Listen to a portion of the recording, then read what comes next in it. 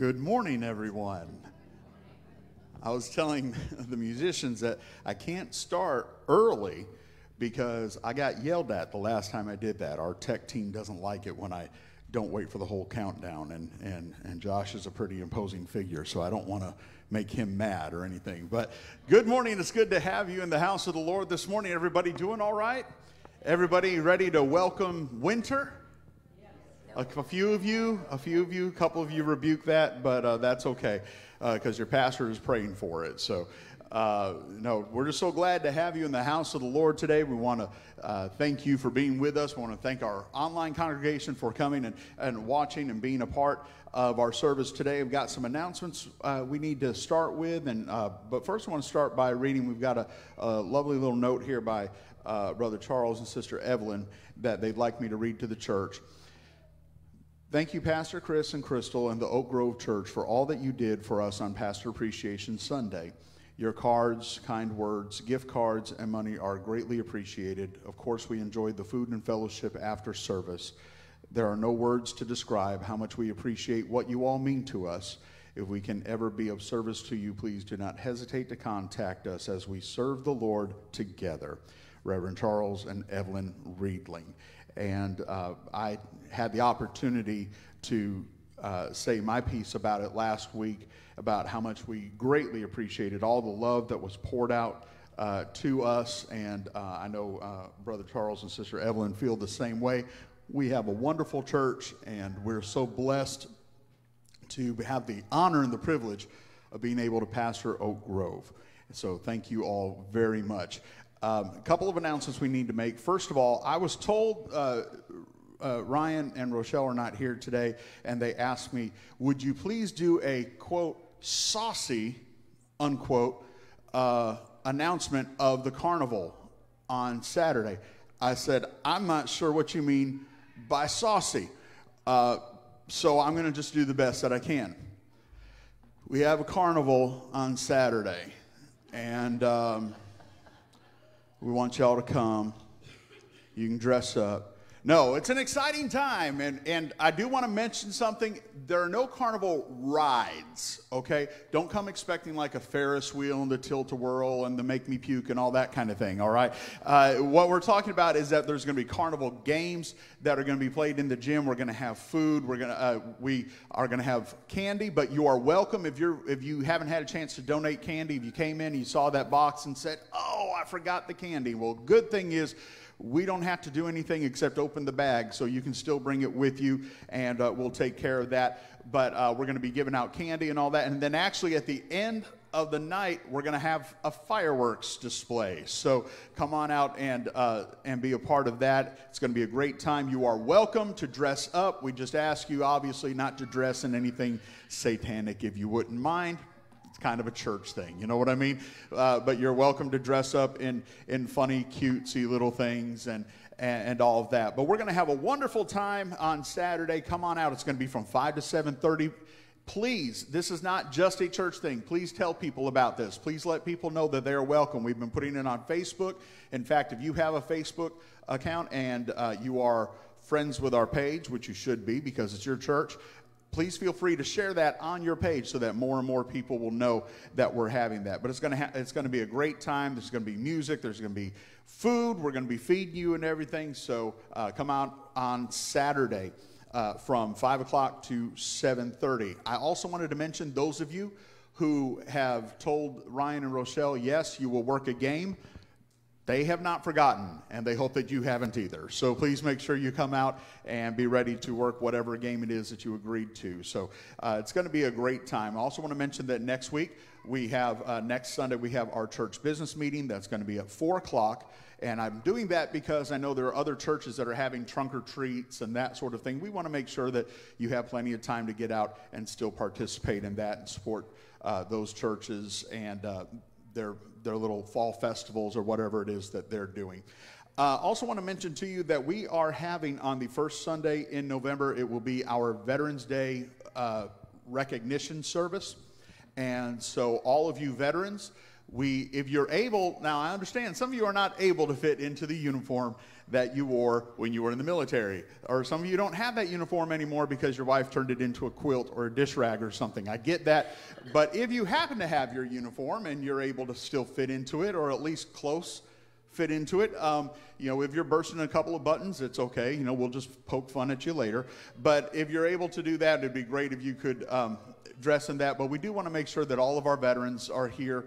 Uh, on that Sunday. We want to recognize you and give you the honor that you deserve. Uh, we're going to have the slideshow as we usually do and all of that. And then there will be a luncheon afterwards. Uh, now, Sister Tanya had posted on our family page about uh, some of the menu, and many of you have already signed up for that. If you're wanting to know what you can make and how you can uh, uh, help and be a part of that luncheon, please see her. Now, she's actually not here today, which I'm going to talk about in just a moment, uh, but uh, you can always text her or contact her, and she'll be more than happy to tell you. Or you can just look at the family page and you can see what needs to be done. Because of Veterans Day being the first uh, Sunday in November, we're actually going to move Mission Sunday to the second Sunday of November. So just keep that in mind that our Mission Sunday for November will not be the first Sunday, it'll be instead on Sunday, November 13th. And the last thing I just wanted to mention very quickly November 17th, and I mean, we're we're getting close to Thanksgiving and Christmas. It's coming fast, right? Uh, but November 17th, we're actually going to be having, instead of having a, a women's ministries Thanksgiving dinner, a men's fellowship, and all that kind of thing, we're combining all of our departments together. We're just going to have a church fellowship on November 17th at 6 p.m. And uh, it's going to be a great time. And we're going to talk to you about the menu and all that later. But we do want to let sure, make sure that you know about it so you can put it on your calendars. All right. So November 17th, make sure and put that on your calendar. We want you to come out and be a part of that Thanksgiving dinner that we're going to have as a church. Okay? All right. And I believe that's all the announcements that we have. Um, I do want to. Uh, say how good it is to have uh, Sister Lorraine Driggers and Sister Rita Thompson back with us in service, and just continue to remember them in your prayers and remember their families in your prayers as well. Uh, I do have a couple of other prayer requests. Sister Mary Lambert had surgery last Wednesday. They had removed a cyst from her uh, spine, actually and she was doing better, but from what I understand, she's having some issues this morning. And so Wendy had texted me and asked me to be praying for her. And then also, as I mentioned, Sister Tanya has been dealing with some sickness for the past couple of weeks that she's just not able to get over. And I don't know if you've ever had one of those where it seems like it's not it's not a super serious sickness, but it's enough to make you miserable, and it just doesn't seem to want to go away, and the doctors are all scratching their heads, kind of thing and uh, she's been dealing with that. So please, please keep Sister Tanya in your prayers as well. But we know that God's a healing God, right? We know that God hears our prayers. Amen. We know that we don't just say these prayers and they just kind of go out into the atmosphere and, and dissipate. We know that we have a God who hears when his children speak. We know that God, we have a God who hears that when we call on his name, he hears our, our cries, he hears our prayers, and he's going to answer those prayers. Amen. Amen. A few of you are in agreement with me. The rest of you get on board and we'll be all right. Would you stand with me this morning? And if you have a need, I just want you to signify that by lifting of your hand and just know that God knows exactly what it is that you're needing to bring to him. God knows exactly what you're going through. That's the thing is that our God is not oblivious to what we're dealing with. Our God is not oblivious to our problems. Our God knows what we're dealing with. He knows the problems that we're facing and he's got a plan to touch those needs and to meet those needs. Amen. Amen.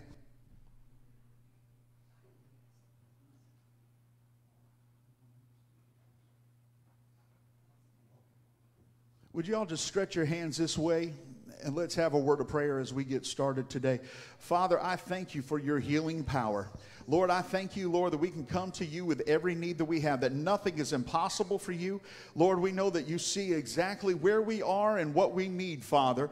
And Lord, for my sister right now, I pray that you'll bring healing to her body. I pray you'll bring comfort to her right now in the name of Jesus. Lord, you see what the situation is, Lord, but we know that you are greater than all sickness, you're greater than all disease, you're greater than any problem or any trial that we can face, God. Lord, I pray that you will just touch her body right now now in Jesus' name, that you'll bring peace and comfort to it, Lord. God, that you will just uh, just calm this that is going on with her, Lord, and just give her uh, a peace so that she can worship, so that she can be with us, so that she can hear the word, so she can bless the holy name of Jesus Christ. Father, she has come up here asking for prayer because she knows where her help comes from.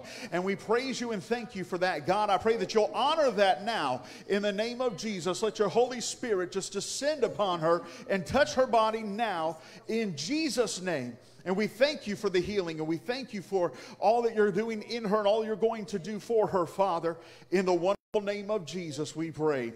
Hallelujah. Hallelujah. Let's pray for these other needs today as well, church. Father, we thank you for all that are in this congregation, all that are watching online. Lord, we know that there are needs uh, of uh, that we could just go on and on and on. But God, we know that you are a God who hears our cries and that meets our needs. You already have the plan for our, our hope and our peace and for the answer to come before we've even asked it, God. But Lord, you want us to be obedient and you want us to be dependent upon you. So as we come into this time of prayer, Lord, we are dependent upon you that you're going to meet these needs, that you're going to bring healing, that you're going to bring strength, that you're going to bring uh, uh, the, the financial need is going to be met, Lord, that you're going to uh, calm our hearts and our minds, whatever it may be, God. Lord, we know that you're going to minister in a mighty and wonderful way. And we just pray, Father, that as we go through this service today, that you will be honored in all that we do. Lord, that you will be honored as we lift up your name in praise. That you will be honored as we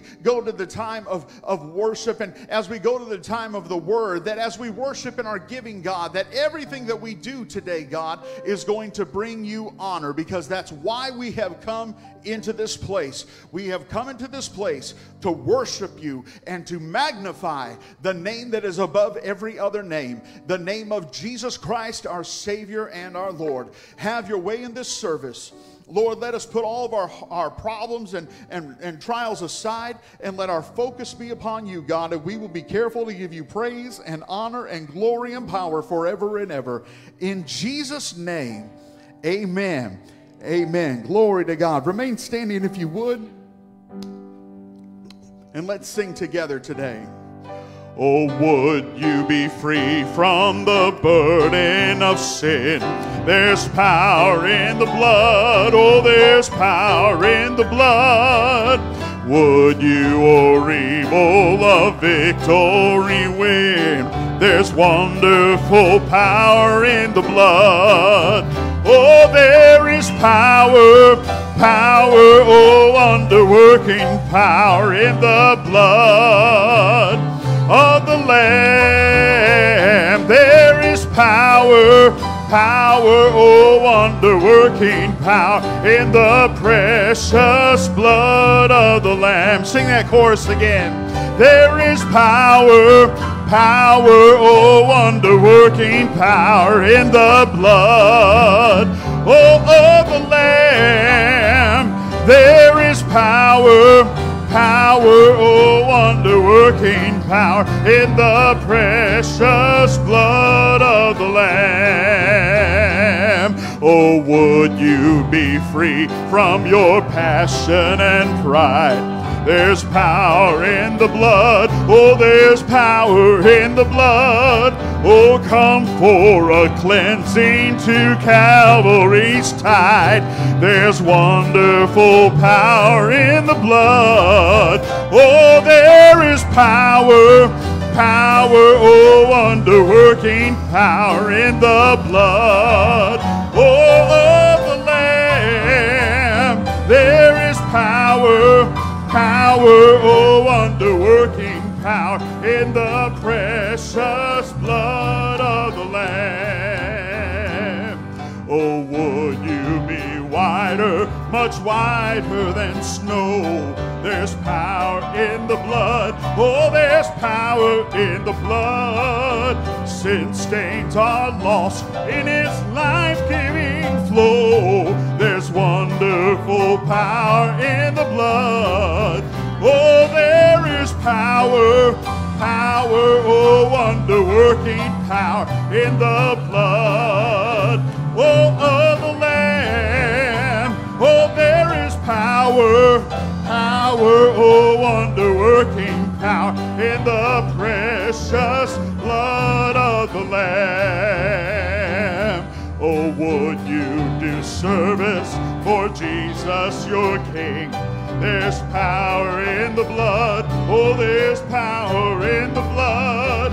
Oh, would you live daily his praises to sing? There's wonderful power in the blood. Oh, there is power, power, oh, wonder working power in the blood.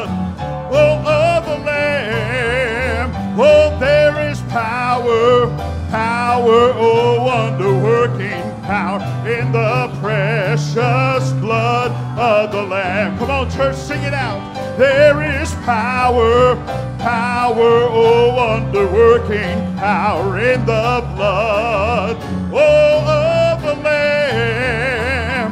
There is power, power, oh, wonder working power in the precious blood of the Lamb. Sing that first verse again. Oh, would you be free from the burden of sin? There's power in the blood. Oh, there's power in the blood. Oh, would you or evil love victory win? There's wonderful power in the blood. Oh, there power, power, oh, wonder working power in the blood. Oh, of the Lamb. Oh, there is power, power, oh, wonder working power in the precious blood of the Lamb. Oh, there is power, power, oh, wonder working power in the blood power, power, oh, wonder working power in the precious blood of the Lamb. Come on, sing it again, church. There is power, power, oh, wonder working power in the blood, oh, of the Lamb. There is power, power, oh, wonder working power in the precious blood of the Lamb. Well, come on and give him a praise in this house this morning. Hallelujah, hallelujah. Praise the Lord for the power of the blood. Amen. Amen. You can be seated this morning. Um, I do want to mention, uh, because I had neglected to mention this last time, and I got in trouble. So, in case you didn't notice, I get in trouble a lot. Uh, but my wife and my boys are not here today, in case you didn't notice that. And I've missed them very much. Uh, they usually go um, to Georgia, our hometown has a pink out game in honor of Breast Cancer Awareness Month. And with my sister in law being a breast cancer survivor, uh, she um, gets to go out on the field usually and all that takes a couple snaps, throws the ball a little bit. No, I'm kidding. She doesn't get to do that. But, you know, they, they recognize all the breast cancer survivors. And so Crystal and the boys have made it sort of a tradition to go out there with them and, um, and be there with them for the game. And Jackson and Alan got to meet a player for the University of Georgia Bulldogs who is from our hometown. And so they're delighted and just thrilled and think that they are just hot snot. Um, I got to stay home and watch the dog. So there's that. But, uh, but I'm very glad because they're on the way home and I've missed them very much. And they're supposedly watching right now. Dear, I have missed you very much. Boys, I've missed you, but not as much as I've missed your mama. And so please come home and be safe and all that stuff. All right. Hopefully, I have done what I need to do to make sure I don't get in trouble. We'll find out when she gets home. Anyway, uh, I want to ask our ushers to come at this time and we're going to receive uh, this morning's tithe and offering. And I appreciate you supporting this church, and I appreciate you supporting the ministry. I know that, I tell you, money is one of those things that no, no pastor wants to talk about, it seems. No pastor wants to talk about giving and tithe and offering because they're afraid they're going to offend somebody. because maybe that person isn't giving the way that they should and and you know whenever you talk about people's money boy i tell you that's that's when the claws can come out. You know what i mean? You can lose some friends real fast when you begin to talk about that. But i've always looked at giving as worship. I've always looked at giving as a time where we are telling god how grateful we are for everything that he has given us. And i know we are a blessed people even those of us who maybe if you're in this house and you say, Well, I struggle financially and all that, but you've got food on your table and you've got clothes on your back and you've got people that support you and love you. And I mean, we, we are a blessed people. Amen. And this is not about bill paying time. This is not about, well, I need to give so that, you know, the preacher don't get on to me. This isn't about guilt even. It's, you know, I better put some money in before uh, the preacher gets mad. This is about us worshiping God and saying, God, everything that we have, Lord, it belongs right back to you. And anything that you demand of me, anything that you require of me, God, I'm just going to put it right back to where you want it to be, Lord, because everything I have, it's only because of you. Amen? And so I want you to really worship as you give today. Whatever it is that you give, however it is that, that the Lord has laid it on your heart with your tithe and your offering, I want you to give in a worshipful spirit today. And as you're putting the offering in, as a matter of fact, I just want you to say, Thank you, Lord, for what you provided. Just say that, just a little quick thank you to God. And I know He's going to bless it many times over. Amen. Let's pray. Father, we thank you for all you have provided. Lord, you, you have provided so far above anything that we could possibly ask. God, you have always been there for us. And your word says that you've, you know, we've never seen the righteous forsaken, nor a seed begging bread. And Lord, that is just as true today. I pray that you will bless all the offering and all the tithe that are brought in today, Lord, that it will go to bring souls into the kingdom of God, that it will go to fulfill the great commission that you have put upon our hearts, that you have commanded of us, Lord, so that we can be faithful and true in all you have given us. In Jesus' wonderful name, amen. Amen. God bless you as you give today.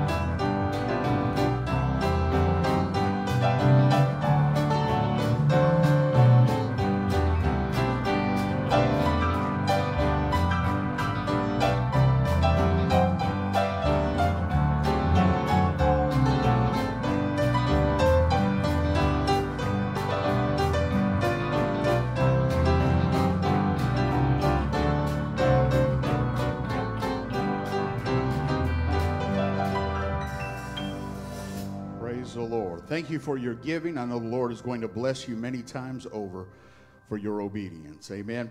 Yes, I saw many of you fanning. So I've adjusted that, and it should be perfect right about the time I'm dismissing. If we have any children that are going to children's church today, yes, yes, if you would just come real quickly.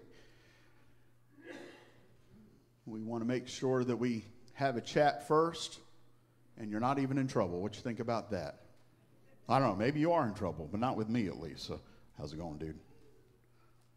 How's it going, dude? Is that for me? Thank you. So, oh, never mind. Boy, he didn't even he didn't even acknowledge. He was just like, "I'm going to put this over here so you can't reach it." So, hello, lovely children. How are we all today? What you eating? You got goldfish? Okay, goldfish are good, ain't they? All right. Do your mommies and daddies ever tell you you're special? No. You're dismissed. Um, Megan just got called out. Jacob's like, no, she does not. Thank you. Um, I'm going to think that's wrong and that they probably do. Uh, if nothing else, they tell us you're special. How about that? So, but do you know that as special as you are to your mom and dad, and to your grandma and grandpa, or to your aunts and uncles, or whoever it may be, or to your pastor, that you are even more special to God? God knows you better than anybody in this world could ever possibly know you. Do you know all the pretty hairs you got on your head, Maddie? You know God knows how many you've got? Exactly how many you've got. You know God knows how many goldfish you've eaten today? He does. He knows, he knows everything about you. He knows how many teeth you got. He knows how many little hairs in your eyebrows and all that. He knows all that about you because you mean that much to him. He created you. And the Bible even says that he knows the hairs on our head. And some of us, it's a little easier for him to count. But, um, but you guys, no matter what anybody else tries to say, if the, if the whole world turns against you and says, you're nothing, you're nobody, God has made you very special and he loves you very much. And I don't ever, ever, ever want you to forget that, okay? Okay, we good? Can I have a goldfish? I'm just kidding. I don't want one. I'm just playing. River looked at me like, no. But anyway, well, let's have a word of prayer and then you guys can go to children's church, all right? Father, we thank you for these special children, Lord. And we know that each one of us are special in your eyes. God, we know that you know everything there is to know about us. You know things about us that we don't even know ourselves. And we thank you, Lord, because we know that you know these things because of your caring for us, because of the way that you love us. And we thank you and praise you for these kids. I pray, Lord, that they will be able to learn something about the word in children's church today. God, that will stick with them, that they will be able to hide that word in their hearts, that they might not sin against you. In Jesus' name we pray. Amen. Amen. All right, y'all. Thank you so much. You left crumbs. I think you're special, Jacob. Thank you for getting your sister's trash. I appreciate that. Megan, be nicer to that boy, would you? I'd appreciate it. So, stand with me again, if you would. Let's uh, have a time of worship just real quickly before we go into the Word today. Holy Spirit, Thou art welcome in this place. Holy Spirit, thou art welcome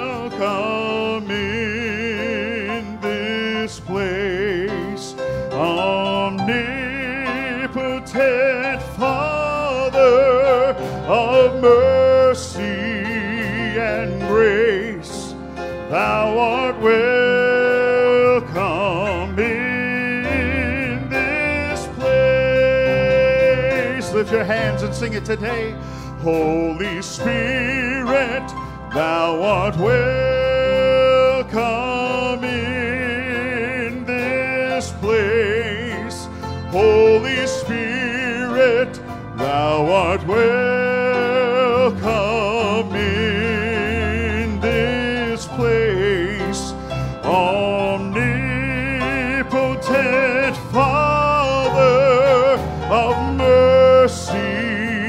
and grace, thou art welcome in this place. Just welcome him today.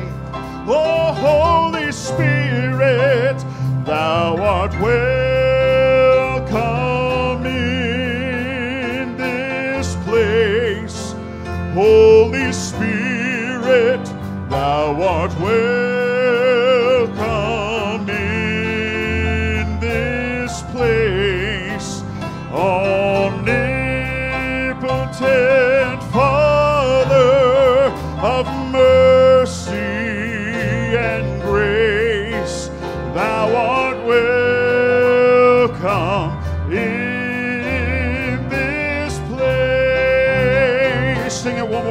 one more time to the Lord. Holy Spirit, thou art welcome in this place. Holy Spirit, thou art welcome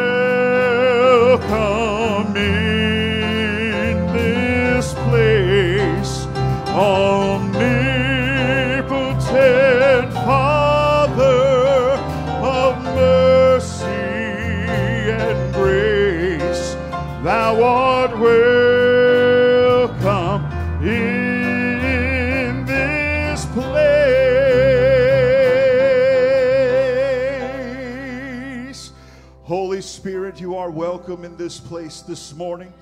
God, as we go into this next part of the service, I pray that your anointing will just rest upon the listener, rest upon myself as I bring the word. God, that we will hear what you have to say to us and that we will respond to your word today. Lord, I pray, help us to put everything else aside and to instead focus upon your word this morning as it speaks to our hearts and as it encourages us and as it changes us, God. In the wonderful name of Jesus, we pray. Amen. Amen. Amen. Remain standing. Thank you, musicians. I appreciate your ministry today.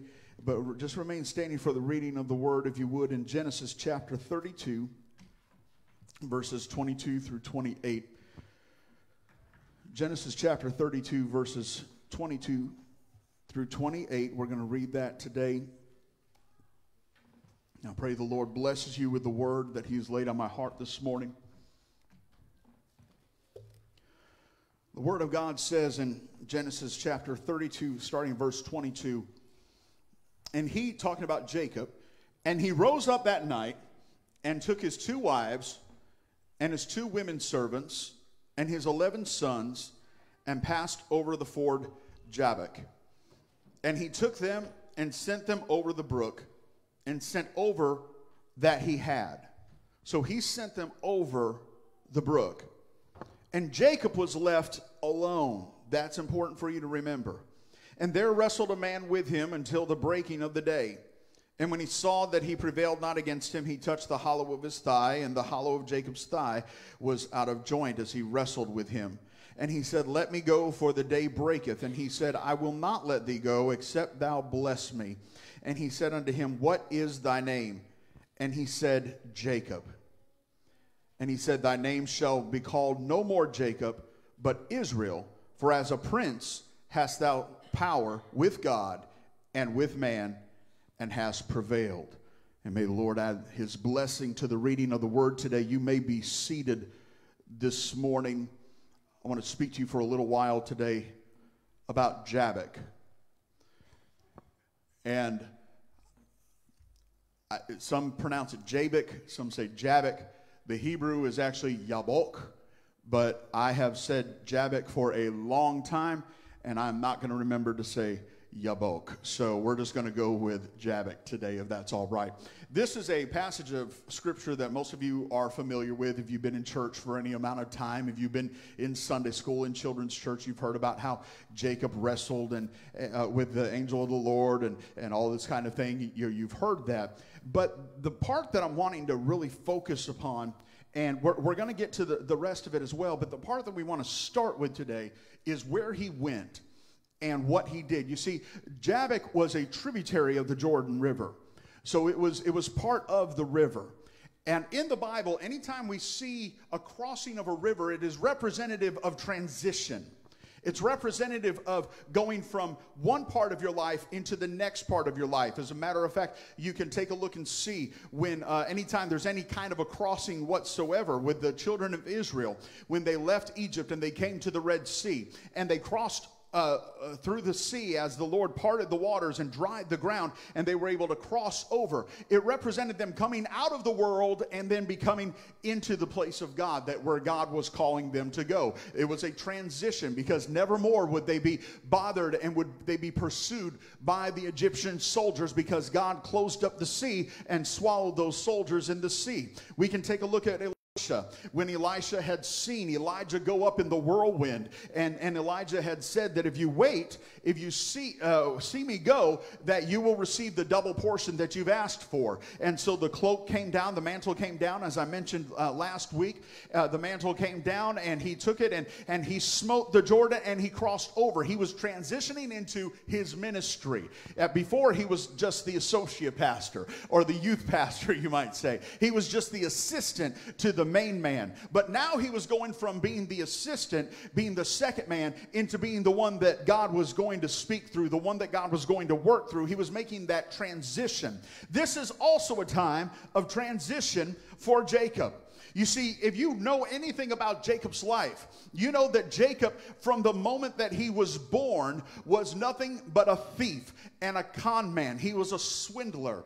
In fact, when he was born, uh, of course, you know, he had a twin brother named Esau. And when he was born, Esau came out first, but then came Jacob, and Jacob was literally grabbing onto the heel, even as a baby in the womb, was grabbing onto the heel of Esau and, and came out that way. In fact, you know, if you take a look at that and you think about it for a moment, he wasn't even wanting to put out his own effort. He was relying on somebody else to give him what he wanted and give him what he needed. And so the name Jacob, and you may have heard me talk about this before, it literally means one who grasps the heel, which is uh, it's considered a derogatory thing actually in Hebrew culture. You're considered a con man. You're considered a liar. You're considered a thief. Well, Jacob sure enough lived up to that in his life because as uh, as you know uh, with the story of Jacob and Esau when uh, Esau had been out hunting and here Jacob was and he had the, the bowl of lentils and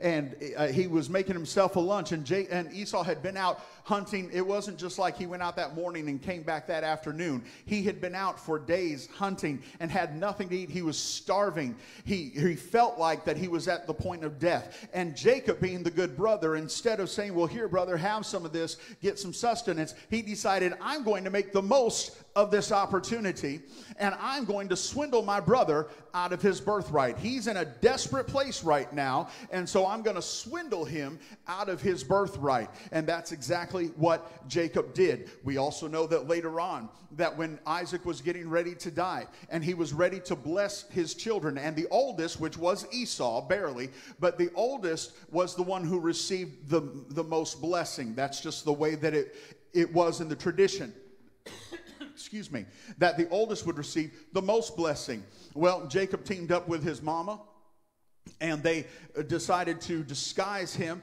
as Esau because Isaac was blind and couldn't see anything anyway. And he, dis- he uh, dressed him up, put the, the pelt on his arm so that he felt hairy and, and made him smell like Esau and all this kind of thing. And he ended up taking the, the blessing that belonged to Esau and he took it away from him which is the whole reason why he fled his home in the first place because Esau was going to kill him.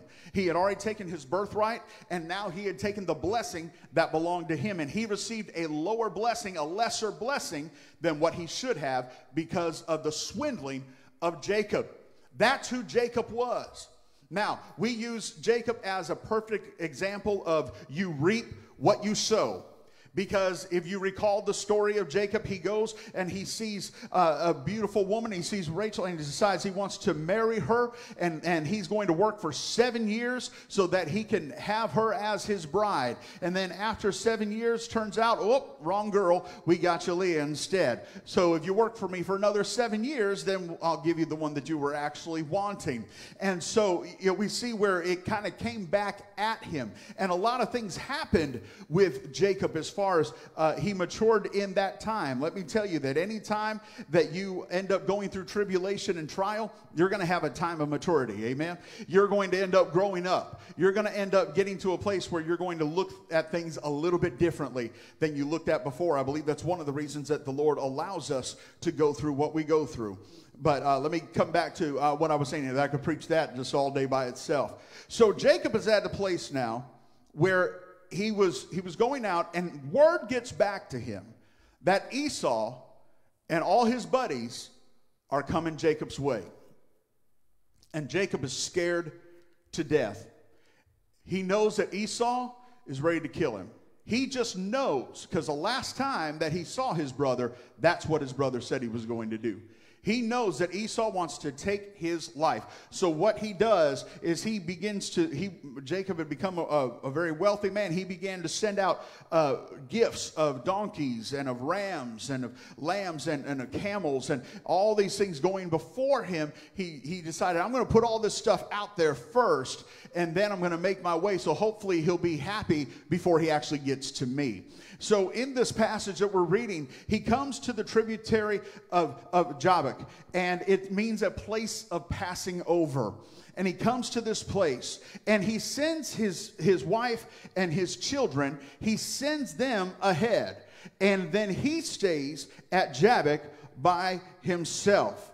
And as he is at this place, we need to understand that there are some times when we're coming to a transition in our lives, we've got to know that we've got to go through it by ourselves. There's there are sometimes some things that I'm sorry, but your pastor can't hold your hand through it. Your wife or your husband can't hold your hand through that. You can't turn to mama and say, Mama, would you just help me with this? Would you carry me across? Would you help me get on my way? There are some times we've got to understand it is me and God. I am face to face with God. I've got no excuses. I'm at my most vulnerable. I can't be pointing to somebody else the way that Adam did to Eve and said, well, she started it or anything like that. I've got to be face to face with God.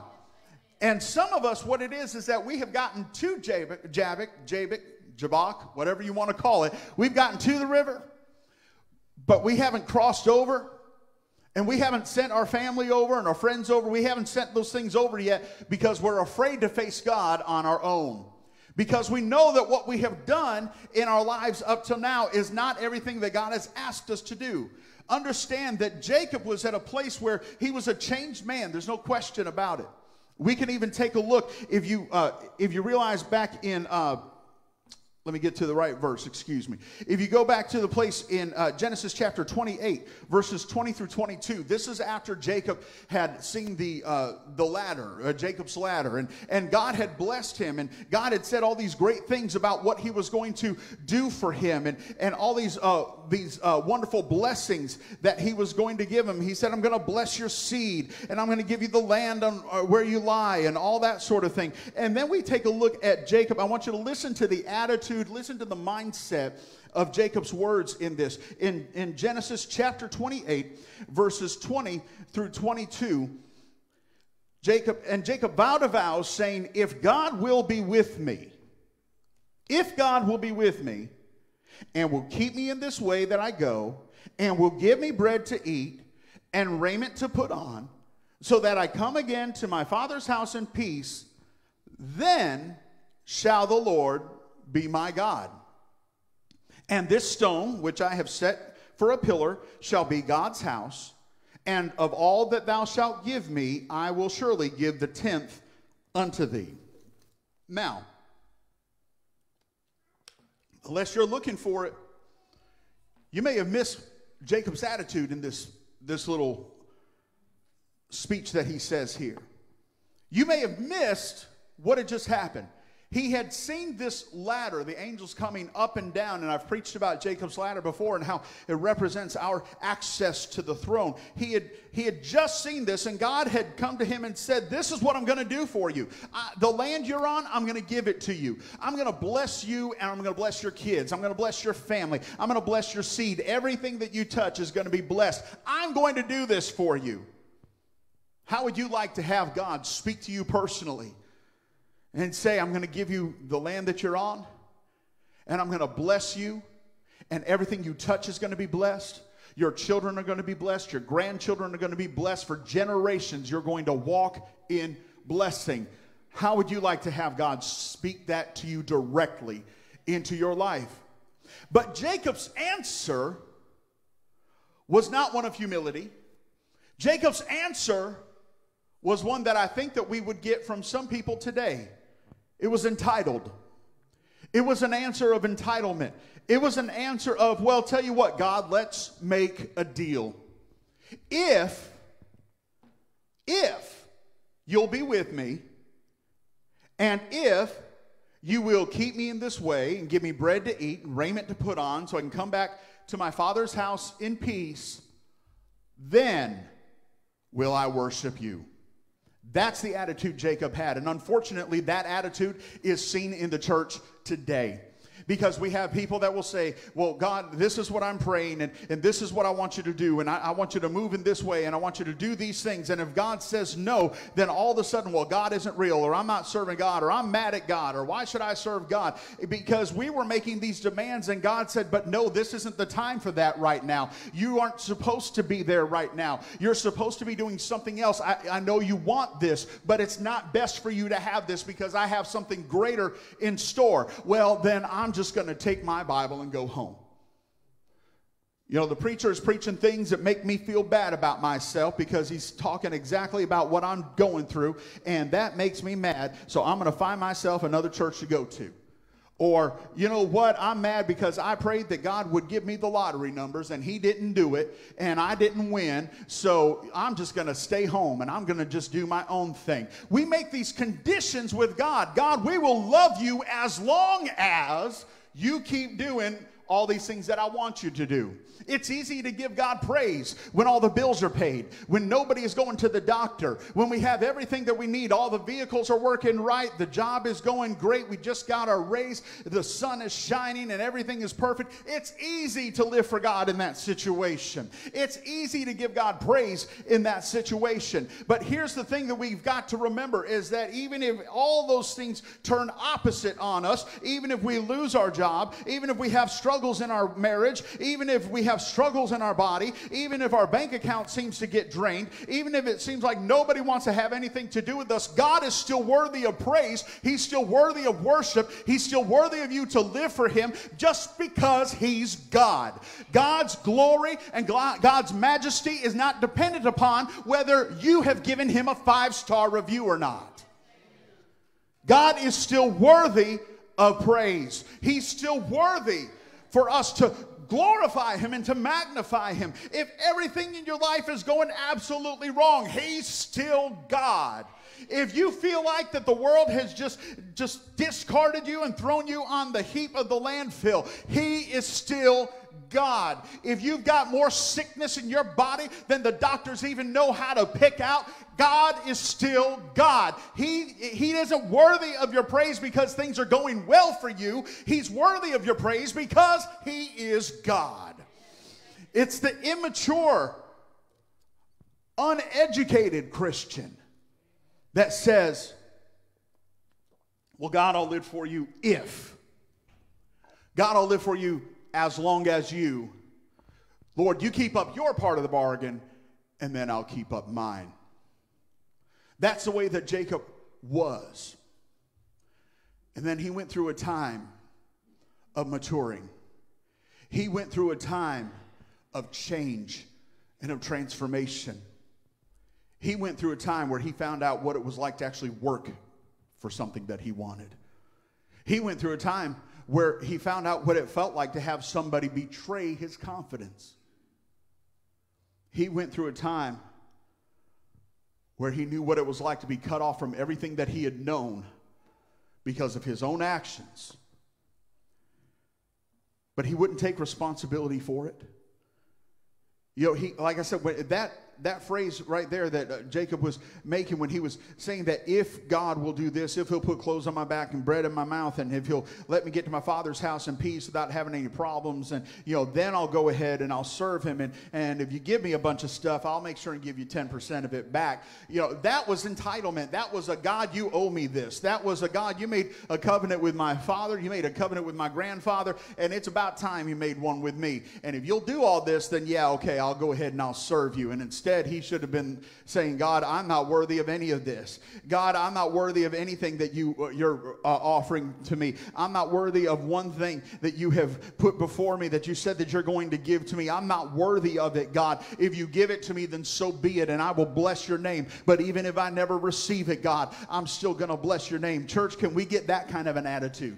Can we get to that place in our life where we say, God, I know your word says that I've never seen the righteous forsaken nor his seed begging bread. I know your word says that if we give, it shall be given unto us, pressed down, shaken together, running over, it'll be flowing into our bosom. I know, God, that your word says that you shall supply all of my need according to your riches and glory. But God, even if you don't, even if I'm wanting you to take care of this, and for some reason it doesn't get taken care of, I'm still going to worship you. I'm still going to live for you because you are my Savior and my Lord. Because the one thing that you have given me that goes beyond anything I could get on this earth is that you gave me your blood from Calvary so that my sins could be redeemed, so that my soul could be bought, bought with that price, so I could be reunited with the God who created me. I don't deserve anything else. I don't need anything else, God. As long as you are my Savior, I will serve you. You have spilled your blood for my sin. You have bore the stripes upon your back for my healing, God. And as long as you have received me and have redeemed me, and I've received you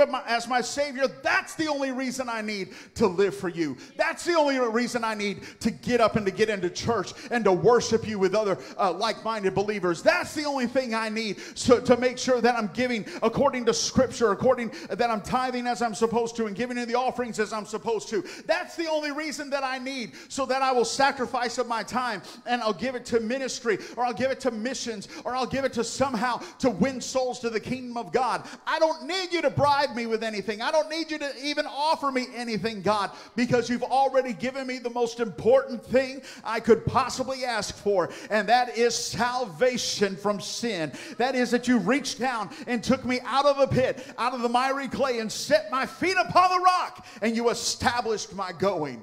We don't need to worship God because of what God does for us day to day. We need to be worshiping God because He is God. Somebody give Him praise in this house today. Glory to God. So Jacob comes to Jabbok and he wrestles. And let me tell you, it's a struggle sometimes. I believe there are people in the church that they love God with all their heart. They are dedicated to God. They serve Him. But there's just something they haven't been able to get rid of. And so they've been limited in what they're able to do. There's maybe a secret sin, or there's a, a secret, um, some kind of a bondage that maybe nobody knows about. Maybe somebody else does know about it. It seems like no matter how hard you try, you just can't get rid of it. You just can't let it go.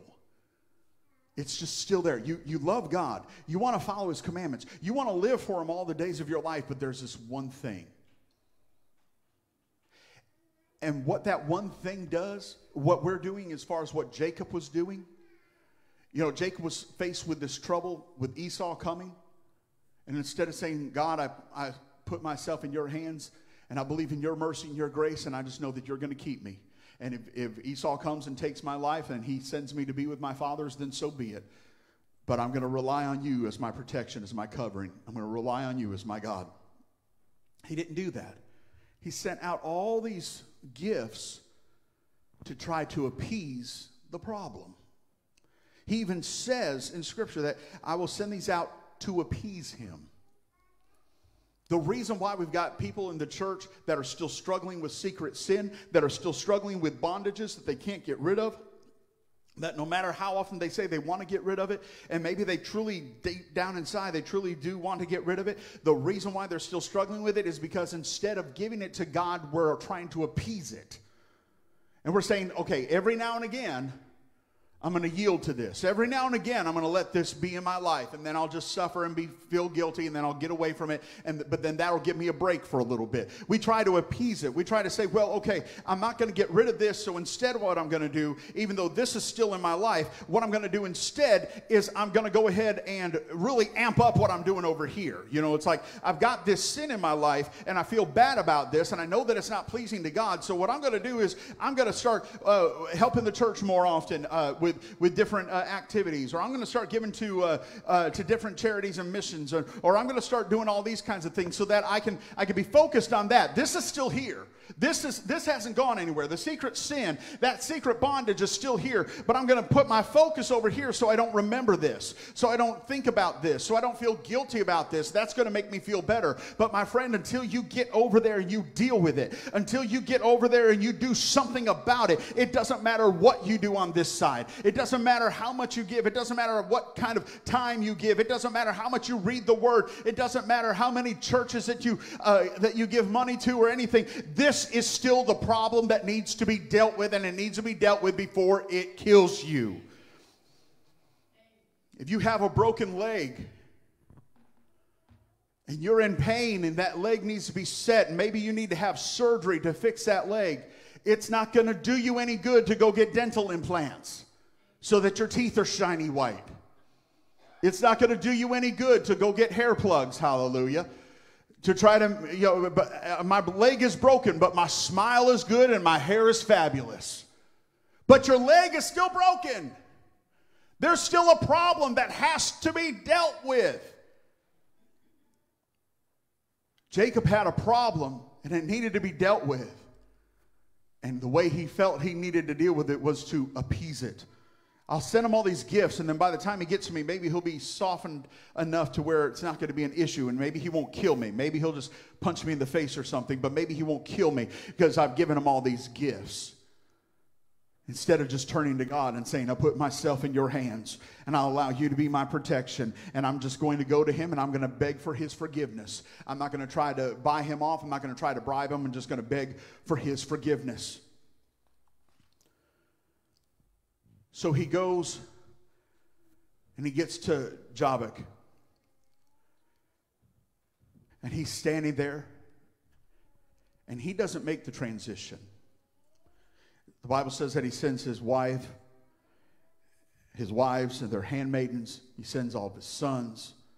He sends all these other people and everything that he had. The Bible said he sent everything that he had. Everything that he had crossed over.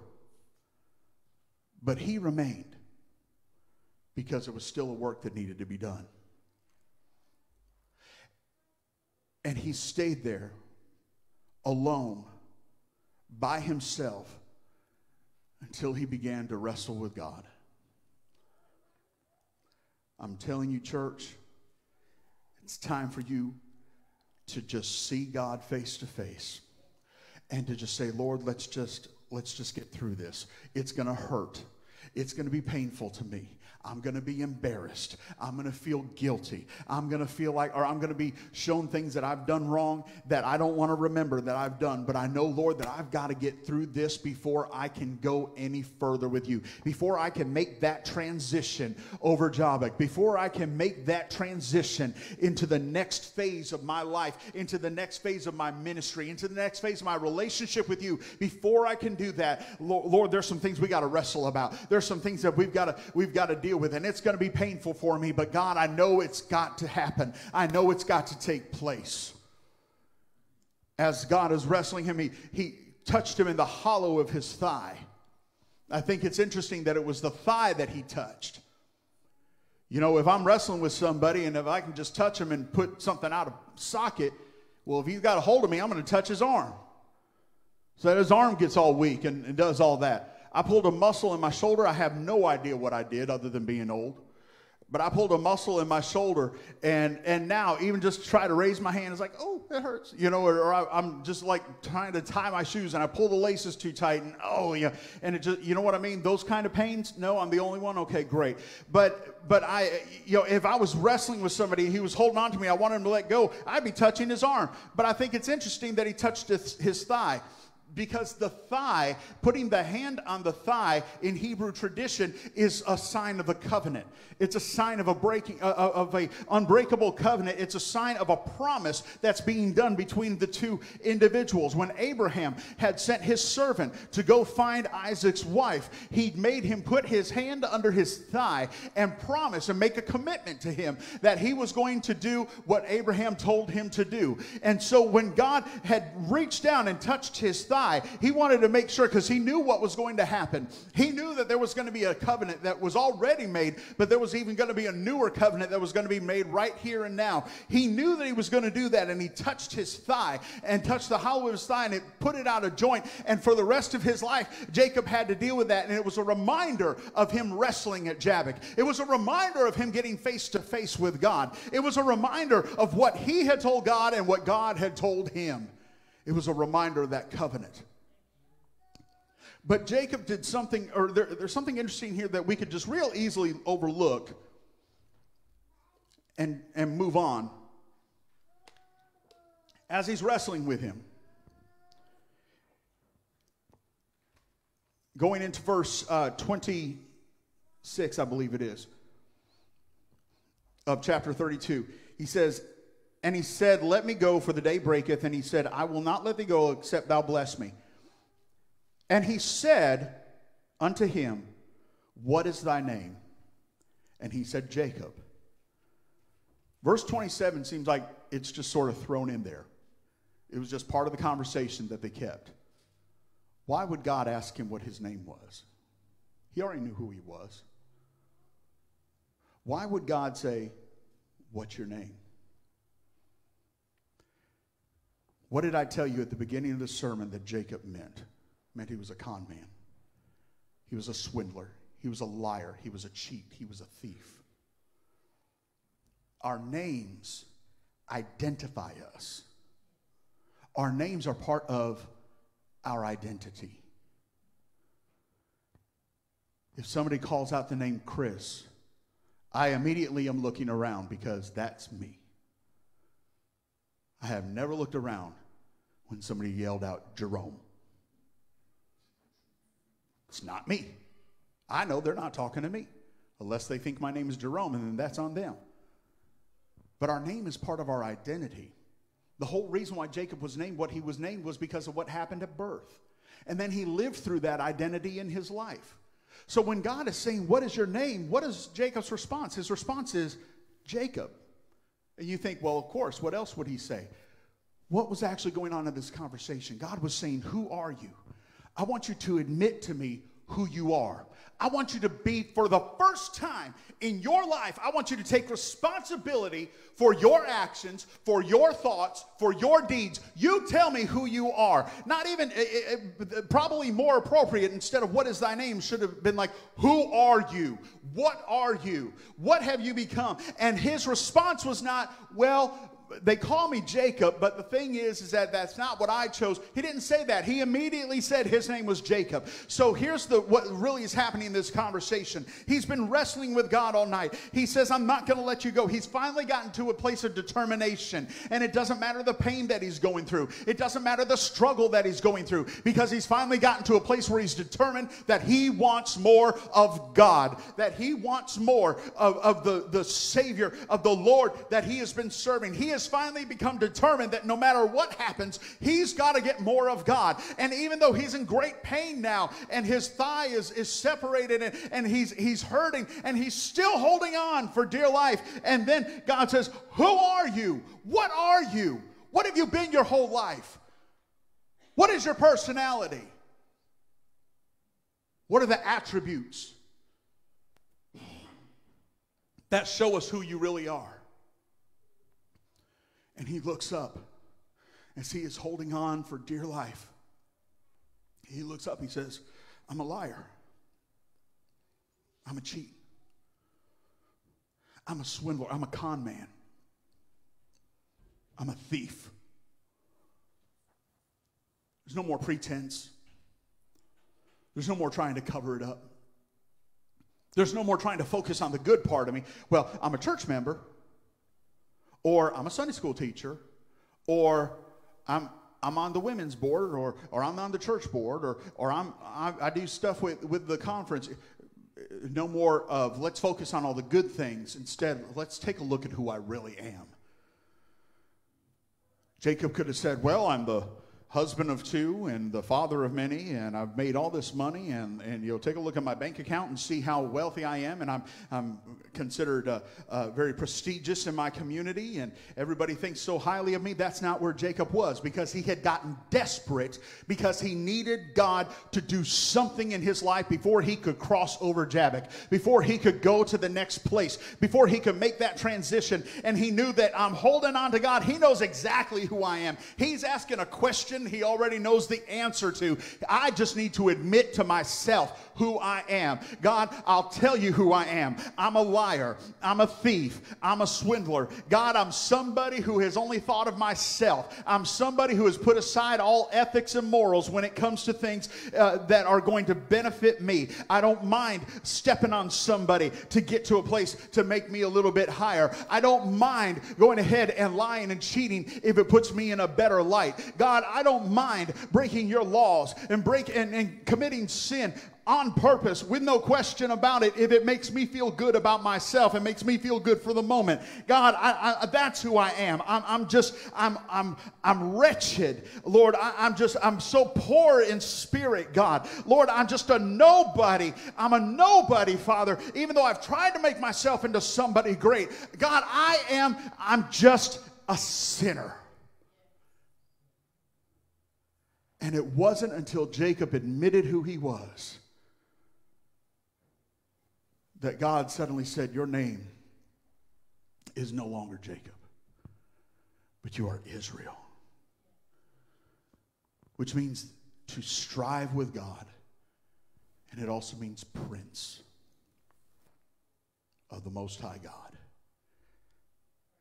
Because he admitted who he was, because he wrestled with God because he said, God, I've been this person for so long, but Lord, I'm ready to be somebody else.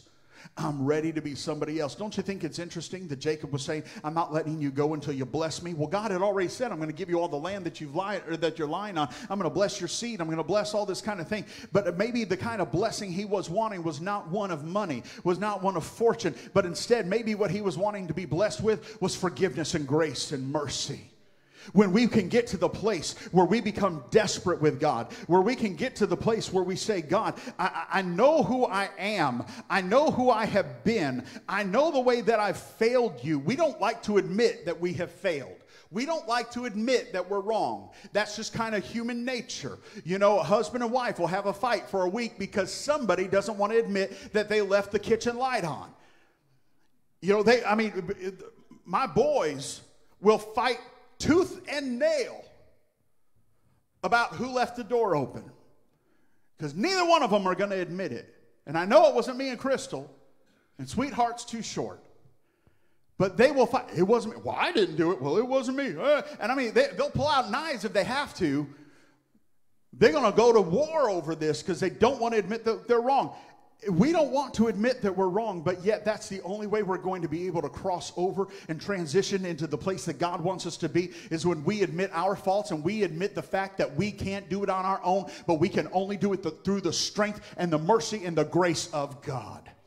When Jacob crossed over, if he would have crossed over with his family, he still would have been Jacob.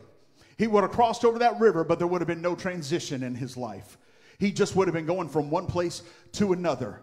But he had finally gotten to the place where he decided, I can't go any further. I can't do one more thing. I've got to get by myself with God. I've got to handle this, me and God. And I've got to admit everything that I am so that he can make me everything he wants me to be. Only through His grace and His mercy can we find forgiveness, but only through our admission that we are who we are can we find forgiveness. You're not going to be forgiven of your sins if you don't admit that you're a sinner. You're not going to get anywhere with God. You're not going to grow in your relationship with Jesus Christ. You're not going to get to that place where you are walking in the anointing of the power of the Holy Ghost if you don't admit that there are things in your life that you have done wrong and there are things in your life that need to be taken out. Things that you've ignored, things you've conveniently forgotten about things that you have appeased. Well, that's just a part of me, it's just a part of who I am. I'm not going to get onto whether smoking a cigarette is going to send you to hell or anything like that. I'm not, I'm not going to clothesline preach, as they say. But I will say this that the times that I've talked to people who have said that they wanted to quit smoking, and maybe they would quit, but then they would start back up again. And I would talk to them and say, you know, why, why did you go buy another pack? Well, I never got rid of the one that I had. Why? Were you wanting to have that as a parachute? Wanting to have that as a safe landing place so you can go back to that? Or, well, I just, I was going through a really stressful time, so I went and I bought another pack and and and and you know just start i just wanted one that's all it was but now i've kind of started up again but why would you do that if you knew that you had gotten it out of your life why would you go back to that or did you ever really get it out of your life And I'm not trying to be judgmental. I'm just, I'm, I'm just talking to them as I say this. And I'm, I'm, because the thing is, I don't want them to be bound by anything, especially something that can give them cancer and all this kind of stuff. I don't want them to be bound by anything. But the thing is, is that we'll, we'll find excuses to do whatever, you know, any kind of excuse we can so that we can keep doing what we're doing. We will work harder to find excuses to justify our sin than we will put, putting in the effort to pray so that God would forgive us and remove the sin from us in the first place. And somehow we find that easier. But my friend, when Jacob got to Jabbok, musicians, come if you would please. When Jacob got to Jabbok, I can imagine him seeing that river, seeing that tributary knowing he has to cross over. And maybe the Holy Ghost began to deal in his heart. And he said, Ladies, get the kids. Y'all go over. Servants, come on. Get all my stuff, everything. Y'all go on over. Well, Daddy, aren't you coming with us? I'll be there. But not yet. I've got some stuff to do. Y'all just go ahead and take everything. Take, I, I, don't even want a pillow. I don't, I don't want anything. I, I don't want a blanket. I don't want a pillow. I don't want, I want nothing that I have earned or that I have worked for. I don't want anything of my life that, that I'm, I'm, it's going to make me feel entitled. I don't want any of it. I just want you to take it all and cross over. I'll be there when I'm done doing what I've got to do. He got a determination nothing in this world that was going to keep him as Jacob, that was going to keep him as the liar and the cheat that he was. Now it was time for him to give himself over to God. And what happened? God showed mercy. God showed grace. And God put an even greater blessing upon him. You were a thief, but now I've given you a new identity. You're not that person anymore. You're not Jacob, the thief, anymore. You're not Jacob, the liar, anymore. Because I've given you a new identity. Now you're a prince. Now you're a prince of God. Stand with me this morning. I just want to ask you is there something in your life that you've been you've been struggling with and the thing is nobody knows this but you You know, the preacher may get up and may say some things and it might hit some some familiar chords, but even as well as I know some of you, I don't know everything that's going on in your life. I don't know everything that's going on in your heart and in your mind. I don't know everything that you're dealing with, but you do. I don't know about every lie you've told, but you do. I don't know about every time that you've stepped on somebody else just so you could advance yourself, but you do. I don't know about every time that you have gone to the altar and cried tears and begged God's forgiveness and gone home and been the exact same person that you were before you went to the altar, but you do. As you close your eyes in this house today, I want you to picture yourself standing before the river. Uh, this, this river that I've got on this, uh, this tributary I've got up here, that's actually Jabbok. That's, uh, I found that picture online, and that's the actual tributary we're talking about. I want you to picture yourself standing on the bank. You're alone. You don't have any friends or family that you can hold on to or that can help you through this. You're alone and you know you're about to see God. Now, I know that right now, saying that, we say, Oh, I would absolutely admit everything because He already knows. I would absolutely admit that I'm, I'm this and I'm that. I would absolutely admit that I've got these addictions or I've got these bondages. I would, no question in my mind, that I would admit, admit that I've got this kind of a sin because He already knows and I'm face to face with Him. Well, when we come to the altar, He already knows. Even if you don't come to the altar, He already knows. When you go home today, He knows. When you're eating dinner this evening, He knows. When you put your head on the pillow tonight, He knows. When you get up tomorrow and you just go live your Monday life, He knows. So, what's the point of putting on the charade? What's the point? Well, but if I can fool those that I'm around, if I, if I can convince those that are around me that that I'm, I'm right with God, if I can convince those that are around me that I'm okay with God, who cares if I think you're okay with God? The only one that matters is God Himself. I'm going to pray, and if you'd like to come to this altar and pray, you are welcome to do it. I want you to, I want you to get to your place of Jabbok. I want you to say, God, I'm putting everything else aside, putting everything else on the other side. But before I can go to that next step in my life with you, we've got some wrestling to do. Before I get to that other side with you, I've got some confessions that I need to make. And if you say that, I'm going to leave these altars open as I begin to pray. And I want you to begin to come up here. And I want you to begin to pray. And I want you to begin to seek God. And I don't want you to worry about, well, is somebody going to pr- come pray with me or not? Are they going to come put oil on my head or not? Because Jacob was by himself at the bank of Jabbok. You've got to get alone with God. In the name of Jesus. Lord, we thank you because of your word and because of the way that you call us, Father. Lord, I thank you that no matter what we have done, God, you are there and ready to disperse mercy and grace to any that would accept it. But Lord, I think there's some wrestling that might need to be done. Maybe it's in the spirit. Maybe, maybe it's, it's with ourselves, God. I don't know. But I believe that there's wrestling that needs to be done. I believe that maybe there are some things that are in our lives, God, that are holding us back from being everything that you desire for us to be. And until we get rid of that, Lord, we're never going to cross over into that next place in our lives. Lord, in the name of Jesus. Would you just take away our, our pride? Would you take away our boastfulness? Would you take away our concern about reputation? And God, instead, would you just wrestle with us today.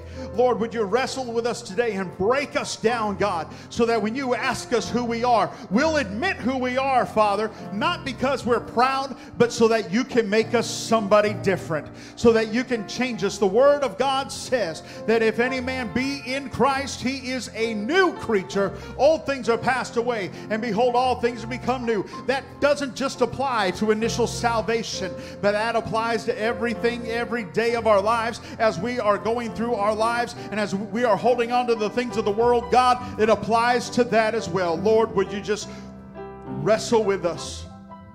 Wrestle with our hearts, wrestle with our spirits till we are so miserable that we have no choice but to turn to you and turn everything over to you because it's at that place, God it's at that place that you're going to change us into a new creature. It's at that place you're going to give us a new identity. It's at that place, Father, that we're going to have the freedom in Jesus Christ. Hallelujah. We glorify you and thank you, Lord. We thank you for Jabbok. We thank you for that place of transition, God, in Jesus' name. Hallelujah, hallelujah. Let's sing this song together as we get ready to dismiss today. Oh, Jesus, Jesus, Jesus. There's just something about that name.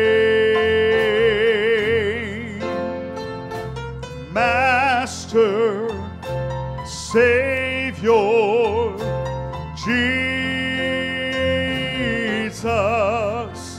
like the fragrance after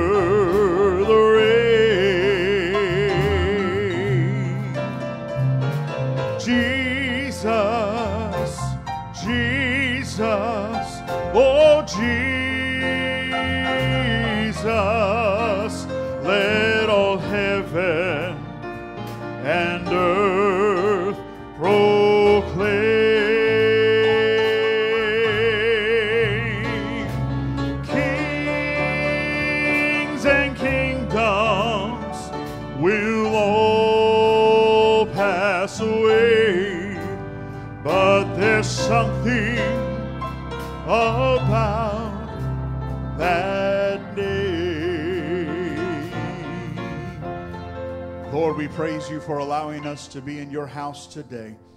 God, I thank you for each one of these that have come out and those that are watching online. Lord, I pray blessings and favor upon their lives as they give themselves over to you. Lord, I pray that you will dismiss us from this place, but never from your presence, God and let us walk in your favor and your glory and your blessing each day of our life. In the mighty and wonderful name of Jesus, we pray. Amen. Amen. Amen. God bless you. Thank you for being here. Don't forget to be here for service on Wednesday. We're going to be talking about end times again. Looking forward to having you here. God bless you.